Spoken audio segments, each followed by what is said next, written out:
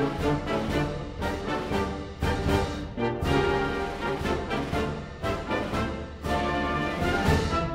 up all, I'm Propagandist, and welcome to another Girls and Panzer related video. Now, a few months back I did a list of five historically significant tanks that have appeared at various points in the Girls and Panzer franchise, and that video went down well with all you viewers and vieweresses out there. So, I've decided to do another video of a similar style, except this time looking at something slightly different. This time, we're going to look at five all-round decent tank slash armoured vehicles that have appeared in the GUP franchise. So once again, the guidelines for this list are as follows. Number one, for a vehicle to make it on this list, it must have appeared in the GUP franchise at some point. And two, in real life, it must have been a decent all-round armoured vehicle, with a good record in all, or at least some of the following criteria, such as firepower, armour, rolls, mobility, crew survivability, ease of production, and ease of repair maintenance, etc. Now, I'll admit this was a difficult list to actually compile, especially since I'm trying to distill it down to just five vehicles. There are a lot of tanks that have appeared in Girls und Panzer which, in real life, prove themselves to be very good vehicles. So what I'm about to give in due course is a selection of some notable highlights, I also set myself some extra constraints to help narrow the list down. For example, with just one exception, I've actually tried to avoid including vehicles which were previously on my 5 historically significant tanks lists, so that way I can give the spotlight to other machines, including some less well known ones. I've also aimed for some national diversity. Each of the five slots is taken up by a tank from a different country, so there are no instances of two or more vehicles from one particular state. Now of course this is all just my opinion. Furthermore, the tanks I'm about to go through are by no means listed or ranked in any particular order. They're just five vehicles which I think are worthy of discussion.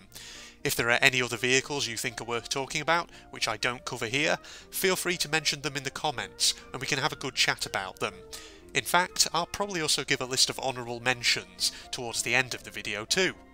So without further ado, let's get into my list of 5 all-round decent tanks featured in Girls und Panzer. Number 1. The American M4 Sherman, as used by Saunders. Now, this is one of the tanks that I actually mentioned in my 5 historically significant tanks video.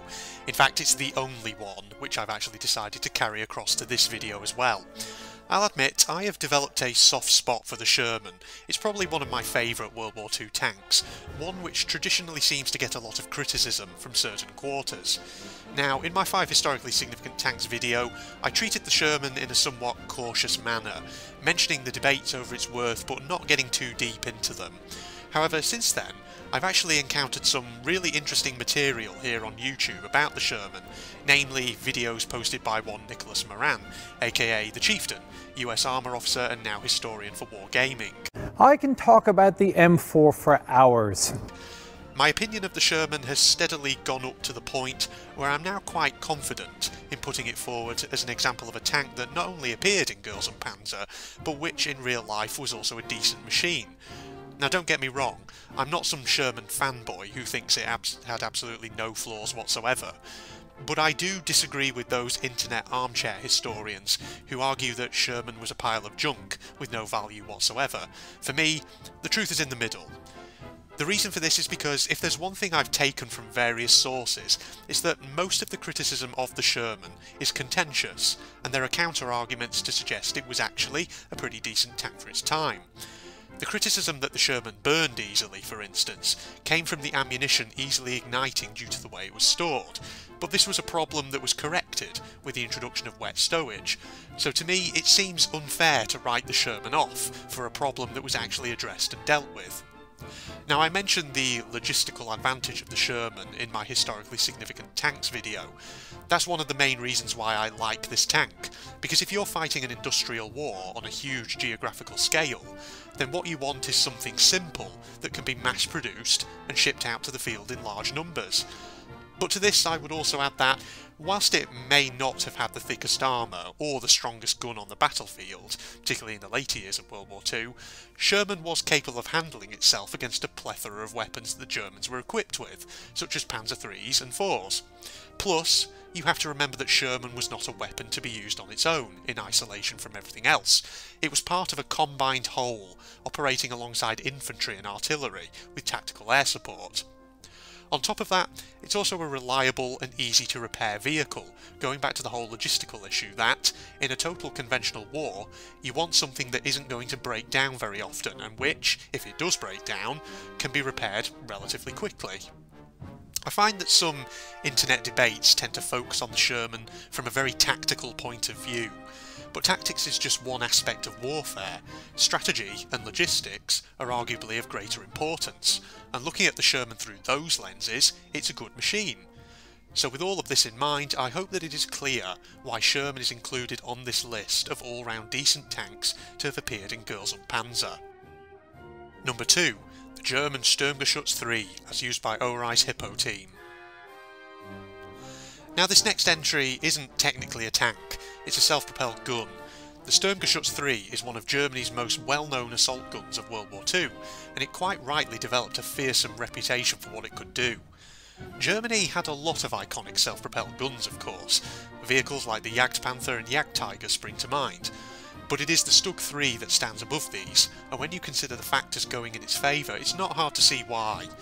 For a start, the Stug 3 really proved itself in a role for which it was not originally designed. The truth was that it was conceived of as a machine that would provide direct fire support to infantry, but as the war progressed and Germany found itself in retreat, the Stug 3 came to be one of the Wehrmacht's principal tank destroyers. The low silhouette made it a perfect ambush weapon, facilitating easier concealment, which, incidentally, is one of the reasons why I chose this vehicle over other German SPGs, such as the aforementioned Jagdpanther or Jagdtiger. On top of that, as the war progressed, Stug 3 variants were progressively upgunned to give them more firepower. But as well as this, there are some other rather telling facts that, I would argue, reveal how valuable the Stug 3 was to Germany.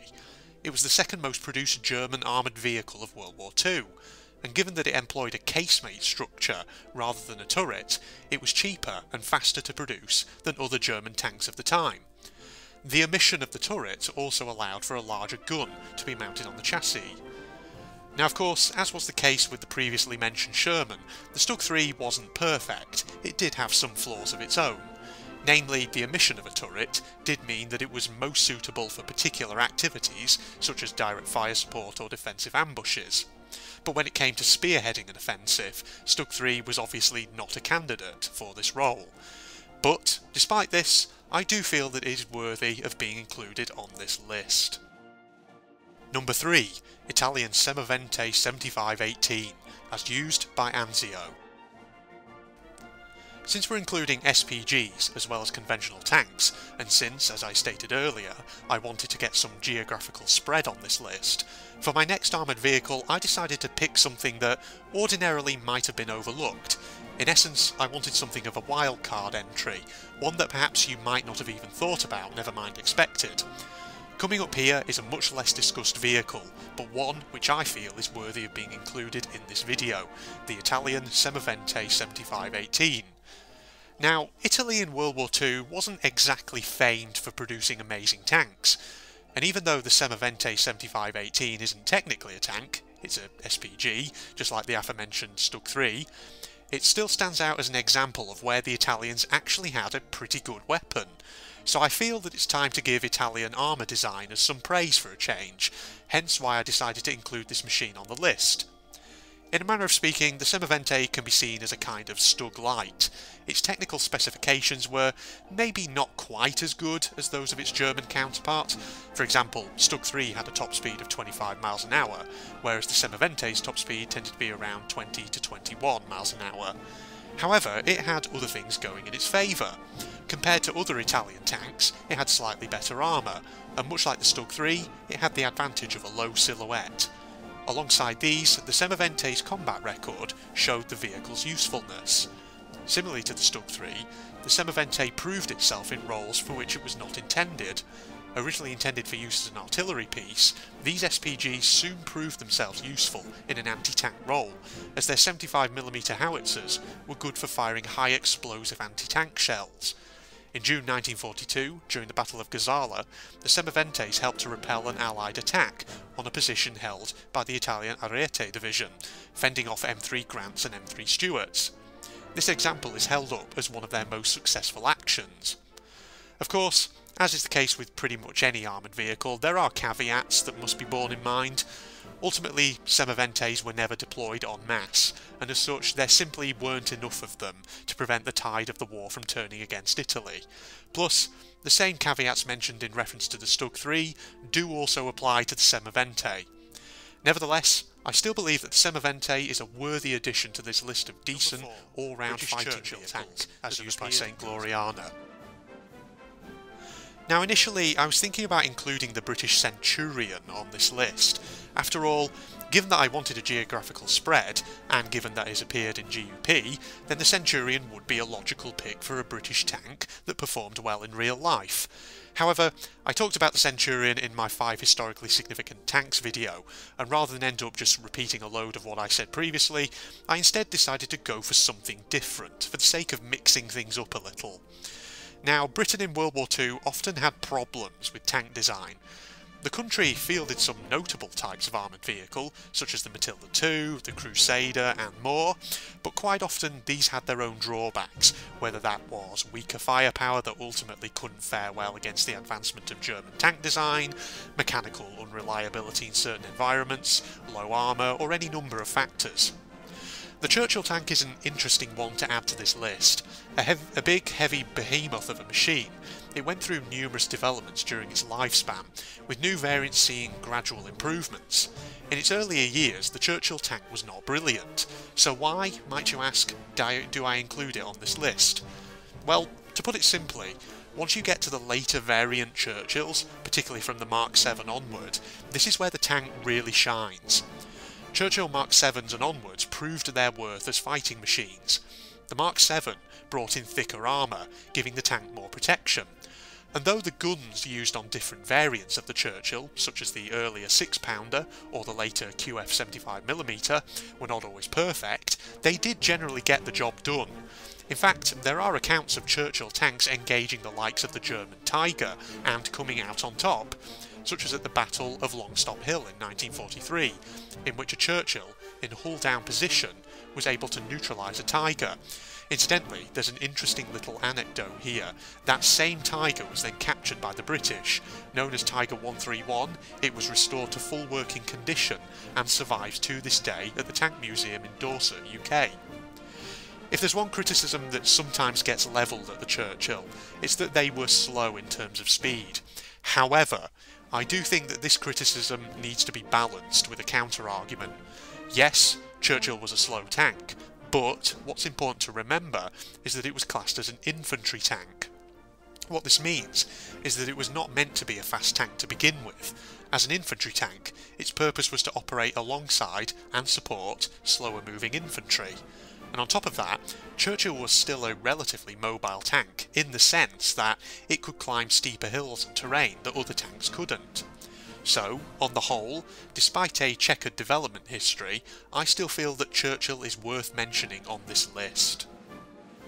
Number 5. Soviet KV-1 tank, as used by Pravda. Now for my fifth and final place on this list, I wanted something Russian. After all, you can't have a video on World War II tanks without reference to something from the motherland. At first, I was torn between the T-34 or the IS-2, both of which were generally good tanks. However, I talked about the T-34 in my historically significant tanks video, so decided not to include it here, otherwise a good portion of this video would just be me repeating a load of stuff from there. So initially, I was going to go with the IS-2, but then I decided to actually change that and go for something else, something of a more wildcard entry, something completely different, and admittedly, perhaps a bit more likely to elicit some debate. In short, I went with the KV-1. Now some of you might be confused here. Propagandist, you might ask, didn't you say that this is a list of tanks that have appeared in Girls and Panzer? If so, then where did the KV-1 appear? Those are good questions. After all, from what I remember, it wasn't featured in the TV series, the OVAs or their film. However, Those of you who follow Girls and Panzer's manga adaptations might be aware of the Saga of Pravda manga. It is there where the KV-1 has appeared, so technically the inclusion of the KV-1 does not break my aforementioned rule. In real life, the KV-1 was a Soviet heavy tank fielded in the war with Finland that began in 1939 and in response to the German Operation Barbarossa in 1941. One of the most notable advantages of the KV-1 was its heavy armour, 90mm at the front and roughly 70mm along the sides and rear. German Panzer IIIs and IVs simply could not deal with it, as their own guns just couldn't punch through. Meanwhile, the KV-1's own gun was quite capable of dealing with the likes of 3s and 4s. So in order to beat this thing, the Germans had to get tactical, setting traps to lure the KV-1s towards heavy artillery, or into spaces where they could be flanked and dealt with by infantry. So not a bad tank by any means. However, I wouldn't say it was perfect either. Some sources suggest that the KV-1 could be a bit of an unwieldy vehicle, I've also seen claims that the crew's vision from within the tank was not great either. And of course, as the war progressed and the Germans fielded more powerful tanks and anti-tank guns, the KV-1's armour became less effective. But of course, can anyone point me to a single tank in history that has either never had a single flaw somewhere in its design, or which has never ultimately been surpassed by subsequent advancements in weapon design? The answer to that is no because war and military design is a game of constant one-upmanship. One side will field something that dominates the battlefield for a time, but eventually the opponent will produce something that can counter it, and round and round the cycle goes. So, for a period in the early years of World War II, the KV-1 was certainly a decent tank, even if it would eventually be surpassed by later German and Russian designs, such as the Tigers, T-34s and IS-2s. And that, ladies and gentlemen, brings us to the end of my list of five all-round decent tanks that have appeared in the Girls and Panzer franchise. As mentioned earlier, these were not ranked in any particular order, plus actually deciding on five tanks out of such a huge range of choices was quite difficult. For that reason, I'd like to list some honourable mentions here as well, if this had been a longer list, say 10 rather than 5 for example, then other tanks I might have chosen to talk about, which do appear in GUP as well, include the Soviet T-34 and IS-2 mentioned a moment ago, the British Centurion mentioned earlier, other German tanks, such as later variant Panzer IVs, or even perhaps the Tiger, or perhaps even the French Somua S-35. So of course, feel free to leave your own thoughts down in the comments, were there any tanks I didn't mention which you think would be equally worthy of this list? Feel free to let me know below and we can have a discussion. But in the meantime, thanks for joining me for another list of Girls and Panzer tanks. I hope you uh, enjoyed this video. If you're not aware already, General Red Propagandist is my second channel. My main channel is General Red Strategist, where I do a lot of gaming content. So if you're interested in that, you can find a link to it in the video description down below, along with links to the channel's associated social media pages. But other than that, thank you once again everybody. I'll probably be doing another list of this kind sometime in the hopefully not too distant future, except that this time I'll be talking about the worst tanks to have appeared in GUP, since I think that will be an interesting one. So uh, you have that to look forward to whenever that appears. But in the meantime, I'm going to go now. So, goodbye everybody,